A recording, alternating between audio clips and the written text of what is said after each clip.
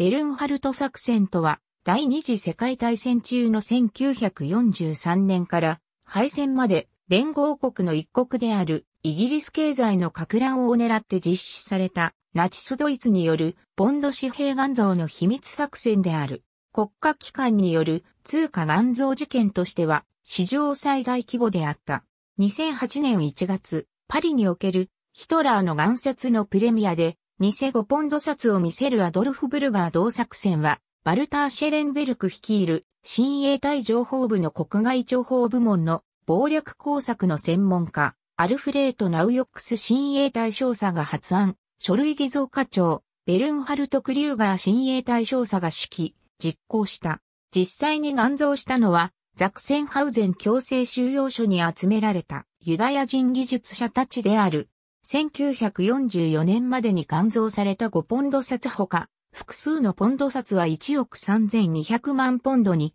上り、うち約50%がスパイへの報酬、秘密工作資金、武器調達用などの海外の秘密工作に使用され、その量は当時の全流通量の約10%に相当した。大戦末期に近い1944年、イギリスの中トルコ特命全権大使である雇い主の機密書類を写真撮影して、ドイツ側に売り渡したスパイで、キケロのコードネームで呼ばれたエリエ・サバズナは、報酬として総額30万ポンドを得たが、すべてベルンハルト・クリューガーの偽札であった。また、幽閉されたイタリアのベニート・ムッソリーニ元首相の救出作戦の資金にも充てられたという。精度は非常に高く、透かしの変更などの対応に追われた。また、作戦後期には、米ドル札の元造命令が下ったが、技術的な問題で完成には至らなかった。ドイツ降伏の混乱の中、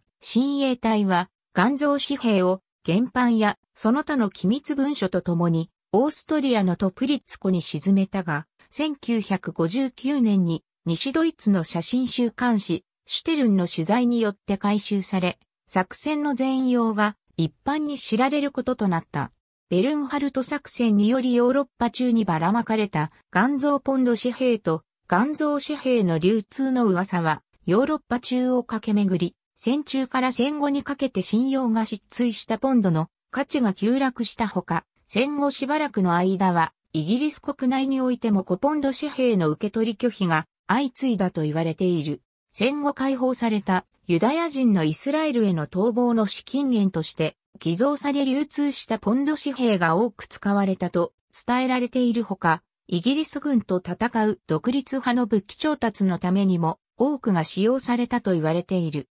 1960年代から1970年代にかけて軍政下のアルゼンチン国内で行われた共産主義者と目された反政府活動家に対する軍事弾圧である汚い戦争における作戦資金や東西ドイツからの亡命者が多く、顧問を務めたアルゼンチン軍の外国からの武器調達において、ベルンハルト作戦の元関係者が指導し、頑造したポンド紙幣が多く使用されたとの証言がある。ありがとうございます。